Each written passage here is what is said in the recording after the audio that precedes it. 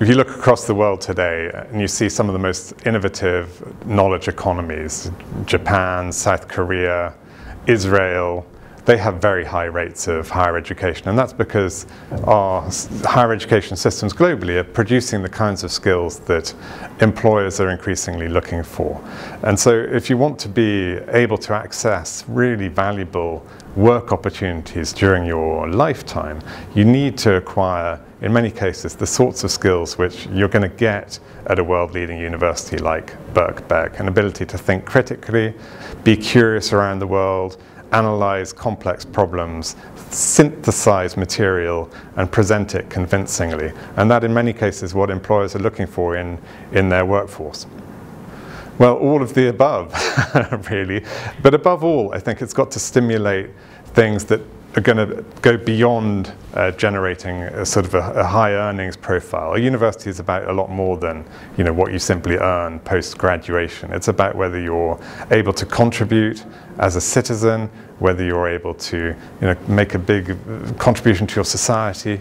Um, so it's something that generates a sort of a sense that you're part of a bigger whole than just you know someone who's generating a stream of earnings that just that we call the, the sort of the graduate premium be curious, be flexible, be ready to change. We're not going to have one job uh, our entire working lives. You know, we can expect, you know, if you're a young person graduating from uh, leaving school, you can expect probably to have eight or nine different careers by the time you eventually hang up your boots. Um, so you've got to be ready to be to, to retrain and ready to be flexible. And that's why institutions like Birkbeck um, which have flexibility built into their DNA, are really right for the changes that we're going to be seeing over coming decades. Part-time, flexible um, education tailored closely to the employment opportunities of the future, absolutely critical.